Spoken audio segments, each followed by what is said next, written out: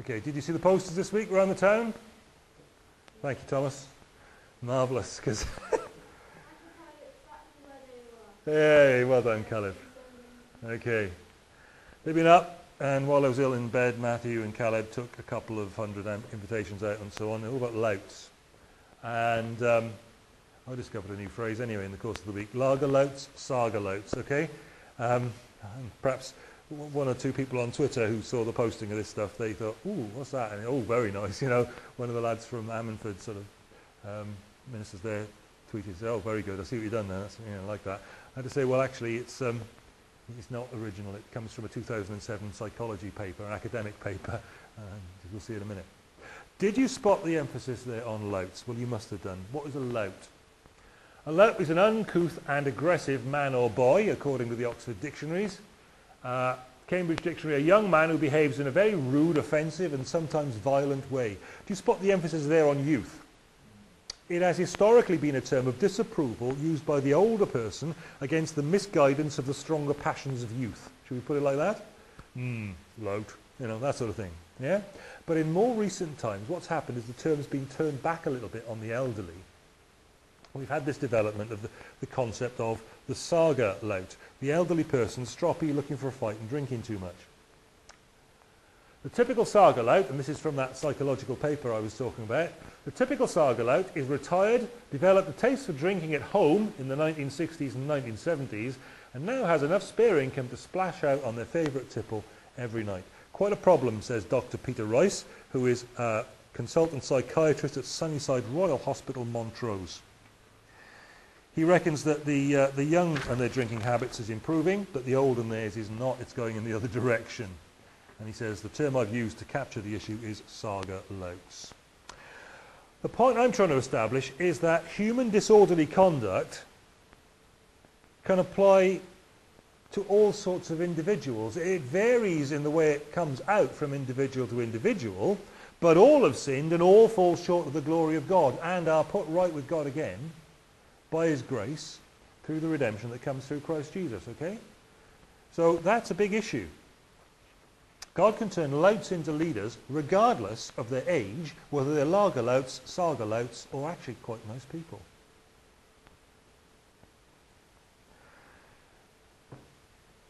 Okay.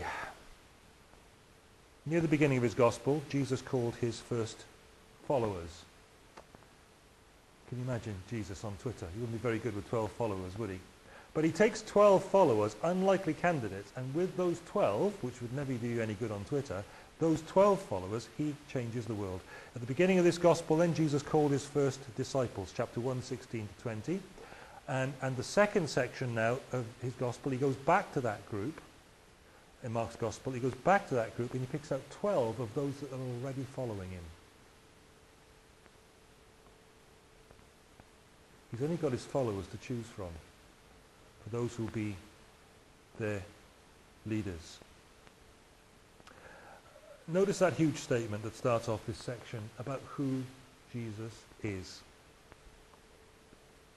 Jesus went up the mountain and called for those he wanted, and they came to him.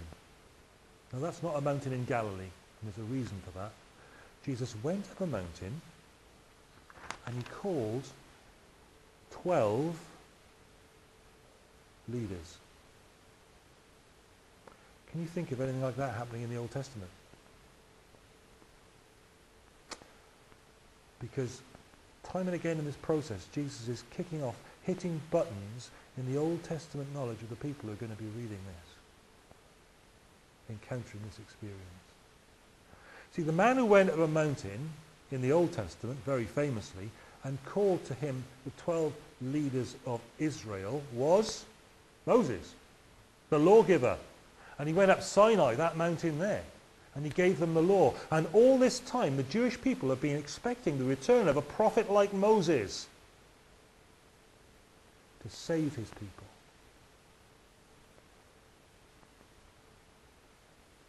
And, and then Jesus does that. He casts himself in that role. He goes up this mountain and he calls to him. And how many does he call? He calls 12. Very provocative on the part of Jesus to choose 12 Because he's already signaled a radical break with Judaism in chapter 2, verses 18 to 22, talking about new cloth on old garments, new wine in old bottles. This is going to be something radically new. And he was understood perfectly clearly then that he was having to go and separated from Old Testament Judaism because the Jewish leaders were so enraged they set out to do away with him from that point onwards, didn't they? They knew what was going on. Jesus is saying, I am scrapping your precious religion and I'm casting myself in the significant role as the new Moses who comes to bring you the new covenant with God. And now I'm setting up 12 leaders of the new Israel. Beginning of his ministry, Jesus spent 40 days in the desert. Looks like an allusion to Moses going up the mountain to receive the law from God. And to the Israelites 40 years in the wilderness wandering around. And now he chooses 12 apostles to be the new heads over the newly constituted, new covenant people of God. That's going to crop up again in chapters 11 to 13. You know, the fig tree getting cursed, destruction of the temple, end of the world. Okay, so now, the followers. He calls 12 to be with him. Five we've met already. Uh, Jesus went along the Sea of Galilee. He saw Simon and Andrew, Simon's brother, casting a net into the sea. Be a fisherman. Follow me, he said. I'll make you fishers of men. Remember that? Yeah? And then going a little bit further down the beach, he sees another fishing firm, bigger one, more prosperous. James, the son of Zebedee, John, his brother, in their boat mending nets, called them. And they left their father Zebedee in the boat with the hired men. See, it's a bigger business. They've got staff. And they followed him. And then as he went along, he saw Levi, the son of Alphaeus, sitting at the tax booth because he's a tax collector. And he says, follow me. Fishermen and tax collectors who were at one another's throats because the tax collector was levying the tax on the fish being exported. It was an excise tax. So we've got the five already. We've got Simon, Andrew, James, John, and Levi. Seven more names. What sort of people does he choose? For that significant historic role, leaders of the new covenant people of God. Why do you think that might be? How does he achieve turning that lot into the leaders of the people of God? Well, Simon Peter. Let's just see what sort of people he picks up. Who? Simon Peter. What do we know about Peter? Fisherman. We're not talking Robson Green and his extreme fishing. We're talking more like Grimsby Trawlerman. What sort of guy is he going to be? Well, we also know he's, he's loud. First to pipe up, always. He's always loud. He's the one who gets on your wick, isn't he? He's the one who's always got something to say. Peter. Assertive. Assertive to the point that later on he's going to actually turn and rebuke Jesus. As Jesus predicts his future and the future of salvation. Assertive. Pushy. I want to come to you on the water, Lord. You again, Peter. You know? That kind of guy.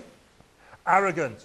Though everybody else deserts you, I will never leave you. Yeah, three times. Listen to the cockerel.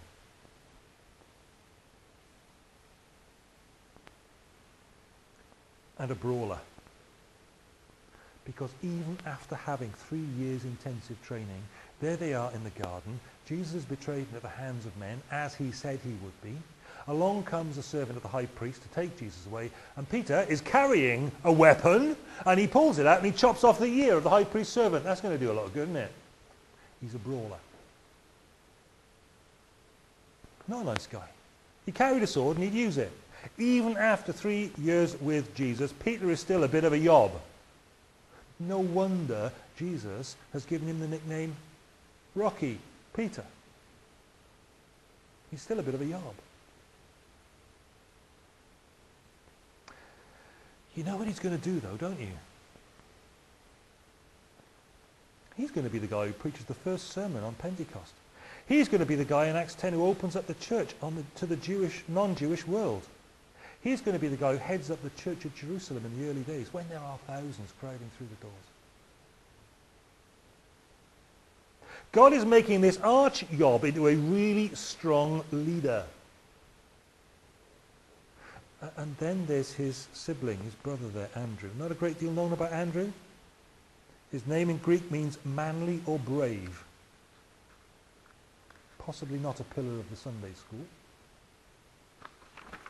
Disciple of John the Baptist, apparently, according to John's Gospel. He's the one who told Jesus about the boy with the loaves and fishes. But then beyond that, we don't know much about him. We get off into legend.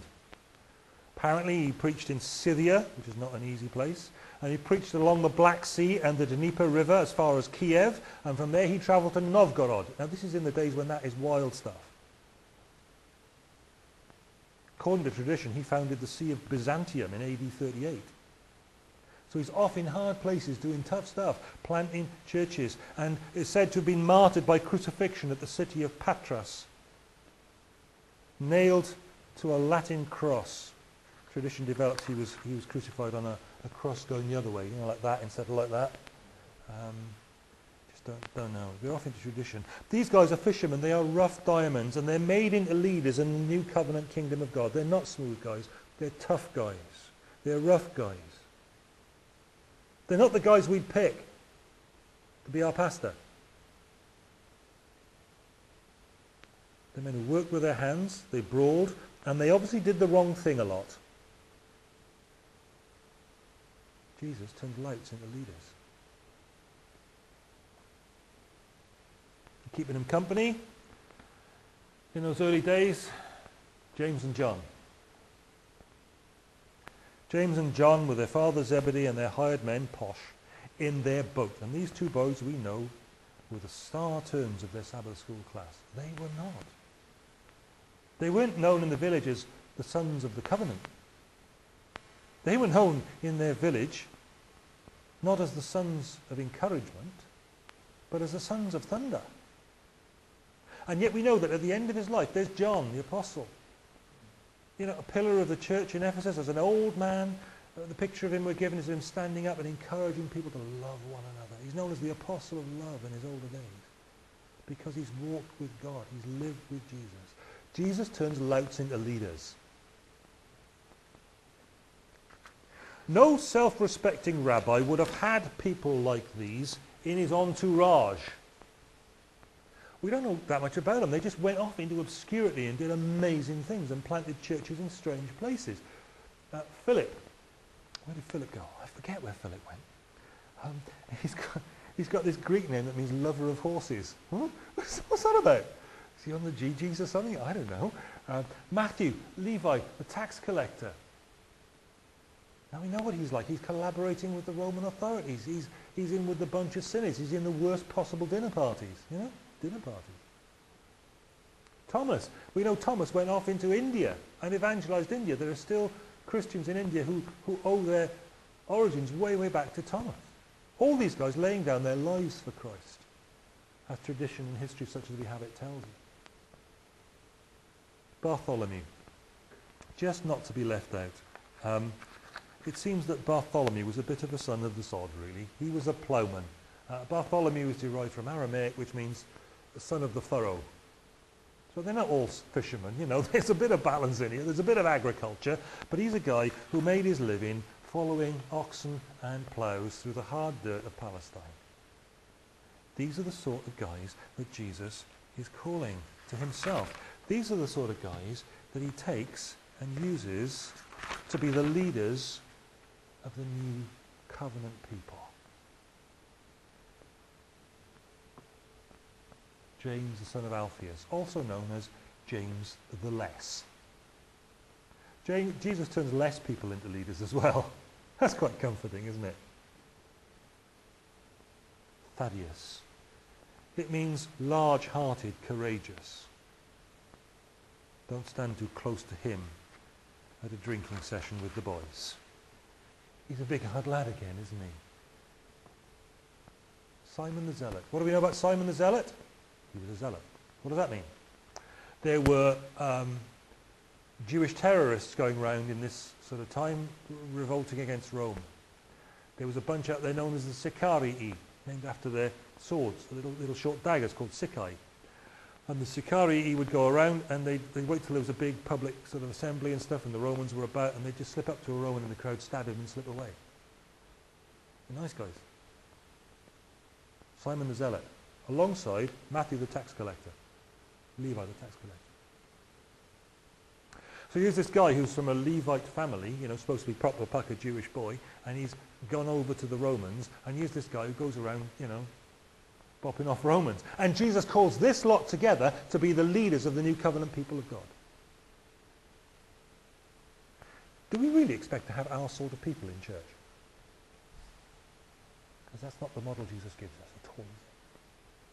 Takes these and makes out of these louts into leaders, louts who listen. Because last in the list, there comes the final one who didn't listen. Judas Iscariot, who betrayed him. Jesus knew what he was doing. He didn't throw him out. Jesus knew what he was doing with the money bag, resisting the preaching of the kingdom. Jesus knew he'd been liaising with the enemy to betray Jesus for 30 pieces of silver. Jesus doesn't always turn all louts into leaders. Only the ones who listen.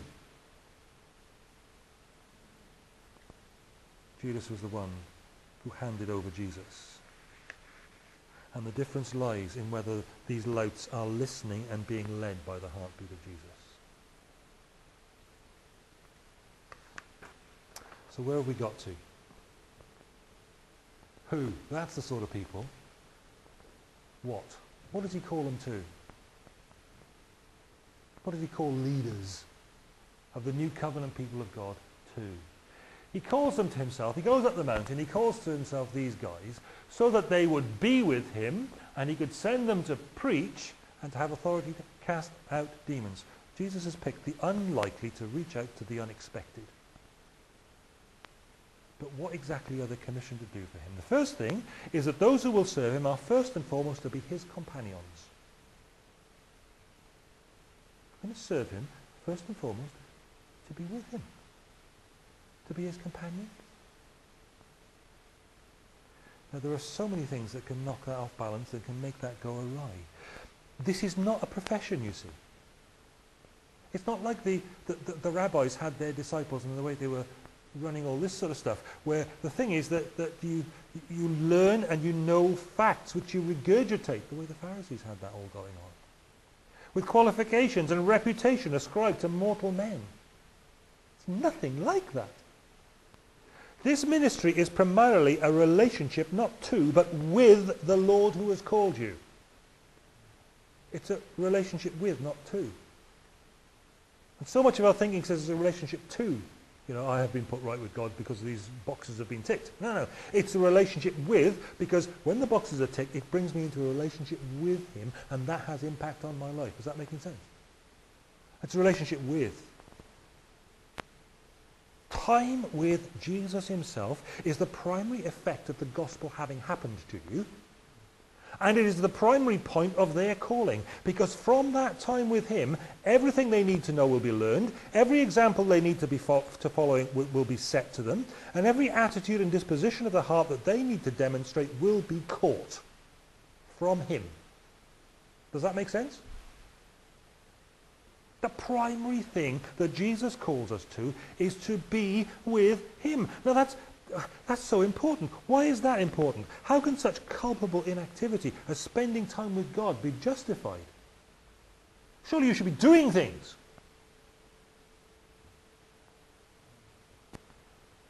We all fall into that way of thinking. Why is that the answer? Well, go back to the source of the human problem. Take a minute to work the thing through. What is the source of the human problem?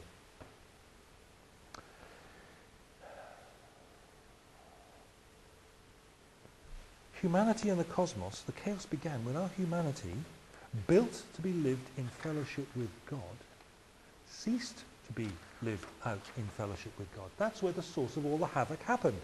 Yeah? Back in that garden, apples were preferred to obedience, yeah? And fellowship with God was lost. Humanity threw its little toddler tantrum with God and broke things. And from that fundamental breakdown in relationship, from that sprang not just our personal but our communal, physical, emotional, psychological, spiritual chaos. And from that, the creation's chaos ran alongside our individual chaos. Our fundamental human experience of alienation then, in, in a world we were made to steward and care for, that alienation arises from and out of our fundamental alienation from God at that moment of tantrum. So God's solution to this fundamental human experience of alienation is to pour out his life to mend the relationship. And it is as the relationship is mended that the new world is built. Does that make sense? Functionally, not theoretically. See, we're evangelicals. There's a problem. We, we do this theoretically. Yes, I ticked the boxes and therefore I'm right with God. No, it's a relationship not to, but with. For while we were still helpless, at the right time, Christ died for the ungodly. Are the ungodly guys. We've looked at the list. Here we all are together as well today. Okay? Ungodly. And what's happened is that Christ has died for the ungodly so that we can be with him. That's the thing. That's the mending thing. If you want to mend this broken cosmos, you've got to mend the fundamental thing that went wrong. And there it is. The first thing that they should be with him.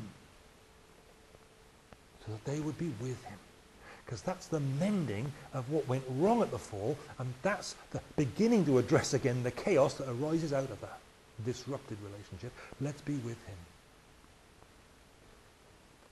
It's not all there is, but it's first. And it quite honestly, how can we adequately communicate this one? It quite honestly drives everything else. That is what drives everything else, to be with him. So that they could be with him and so that he could send them out to preach. if you were running an organization, right, you wouldn't approach things this way, right? You wouldn't approach it like this. We don't spend time with Jesus for personal comfort. There are those who think that's the answer, and it, you know it, it's not. It's, you can't do that. He is God on a mission, and when you spend time with Him, you get like Him. His love is infectious. You spend time with Him, and He will send you out. And I can't say how far, and I can't say specifically to whom, and I can't say to spend time with whatever group, people group, location. I don't know. I can say that to spend time with him is normally a touch and go affair. You get close to his heart and it pushes you out to come back and go out. Uh, and the only thing I can think of is like a moon orbiting a planet. You come close to him and then you go on his mission. And you come close to him and you go on his mission. Does that make sense? Can you see that? There's an elliptical orbit there. General purpose of sending gets clear here though. He had them come to him so that he could send them to preach. Where's that picture? There it is. To preach. Apostello is the verb that's in use here. Send them in order to preach. Now that, that's an English word to be watched when you, when you find that in an English Bible. What does it mean? You know well, because you've heard me say this time and again. In the original languages, there are lots of different words that are translated preach for us. Okay, what have we got here? The word we've got here is kerusso. The kerux, kerux is a herald. And this means to be a herald. To be a herald. Here's the picture. Jesus comes as the king in Mark chapter 1 verse 15. He says, the kingdom of God is at hand. Repent and believe the gospel. He's heralding the incoming kingdom of God. That is the fundamental statement in Mark. And as we've seen, the content is not spelled out after that because it's spelled out at the beginning. And, and you know, Peter and Mark, Peter behind Mark probably telling him, they only say some, something once, okay? That's enough. Once is enough. So the kingdom of God is at hand in his ministry, and people should therefore all repent and believe the good news and express that by following him and becoming like him, fishers of men. He heralded his kingdom. And now he calls to himself the twelve, representing the twelve heads of the new Israel, who will now go out for him to herald his kingdom. That's the picture. You see that? There's a lot we may need to recapture from that to reform our ideas about how we share our faith. The herald spends time in the presence, in the court of the king, whose kingdom is coming in, in order to go out at his bidding to herald the incoming kingdom on his behalf. And it happens that all of these 12, like the Old Testament patriarchs, are men, but there is nothing in Scripture that says that isn't a female task. That one. Didasko didaske, authoritative teaching office in the church, yes there is. That one, not. All of us to go out and herald. Primary function, be with him. Secondary function, heralds the good news of his kingdom coming. Tell it. And then there's the third function, to have authority to cast out demons.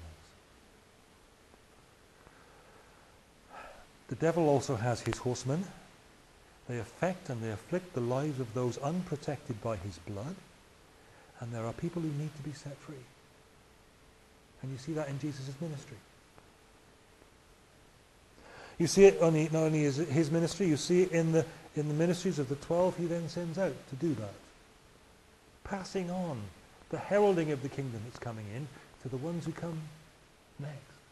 And on down the cascading uh, leadership, if you like, and the history of the new covenant people of God. Here from the start, the twelve are set apart to militant mission in a hostile world where their proclamation will bring them to the point of engagement with the enemy of souls and the cohorts he sends out in his self-service. But his heralds carry the authority of the king. And they're going out to do his business in his service. Jesus did not send his followers out to be raving charismatics doing daft and unbiblical stuff, but he did send them out to engage with spiritual enemies that hold lost souls in the grip of the devil. And it's very difficult then, isn't it, to say, yeah, we want to be with him, yeah, we want him to send us out to preach, and then we're not prepared to take it on. Because there are three elements to this.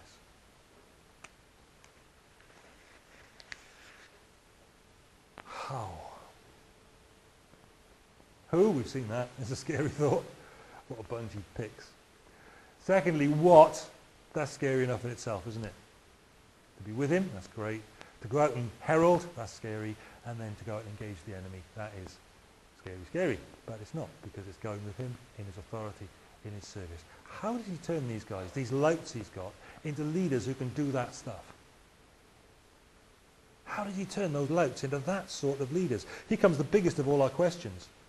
The thesis is that Jesus turns louts into leaders, right? And by the time Pentecost happens, they're not perfect, but the job of turning louts into leaders is, is complete. It, it just doesn't do justice to the evidence, though, to say that at Pentecost, well, God sat in heaven, lobbed the Spirit at some useless, untrained individuals, and ping, like pouring water onto instant mash, there they were instantly transformed, they were ready-made leaders. It doesn't work like that, does it? He takes three hard years and then he takes a further lifetime with them spending time with him and being transformed. The way our God transforms character involves close encounter with Jesus. We've seen that already. He picked these 12 to be with him. Yeah? To be with him. Jesus taught and formed character through his fellowship. He called them up the mountain, and he called them to become part of the new Israel. But what he called them to was a lifetime from that point onwards of being with him. They are to model the relationship that they will herald. Does that make sense? See, that's a Twitter soundbite, isn't it? They're to model the relationship that they will herald. It's not just a message. Proclamation comes in the power of the Spirit as we model the relationship he creates. A new fellowship with him, a new function for him.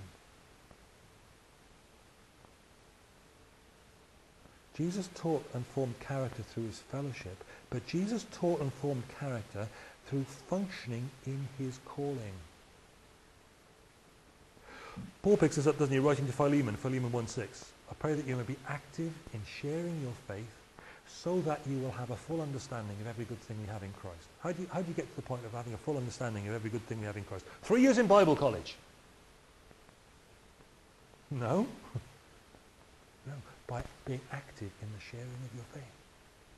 And you see God at work. You learn his ways. You learn his character. You learn how he deals with people. You see and observe his operation. You build faith the same way you make apple strudel pastry. I didn't put that on Twitter. I should have done. You build faith the same way you make apple strudel pastry. You've seen that happen. I've seen it on the telly. I haven't seen it in our kitchen. I don't want to go there because that would make a terrible mess. It is messy. But what you do is you, you bang it around a bit. You chuck it in there you throw it like this, don't you? You throw it and you spread it out and you uh, like that. Yeah? You know what I mean, don't you? Tom's with me on this. You ladies are looking extremely dubious. Okay? That's what happens. You bang it around, you smash it around, you chuck it in the air a lot. And you catch it. How does God build faith? We get knocked around a bit, we get thrown up in the air, we get spread as thin as we possibly can, and then the most delightful things result. Because I love apple strudel. You love apple strudel? That's how you build faith. That's how Jesus builds faith in these guys. By putting them in the function which pushes them, throws them up in the air, spreads them thin, always catches them.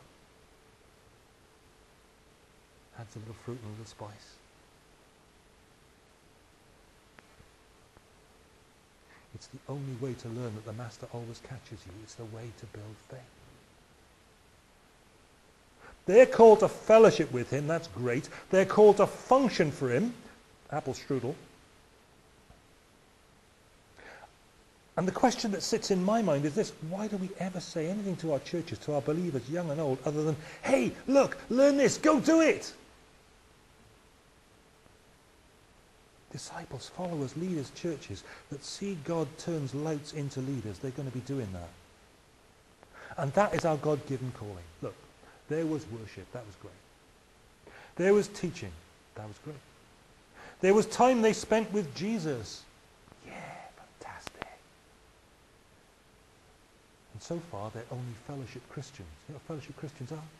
No backbone. They're only still standing up because they're so close together. Yeah? Jesus then said, out you go.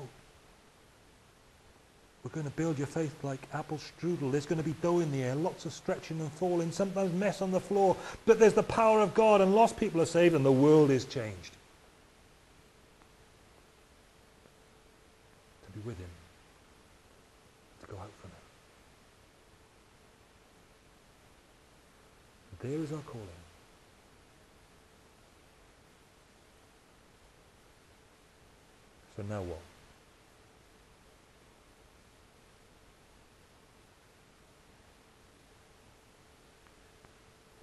Time to make apple strudel.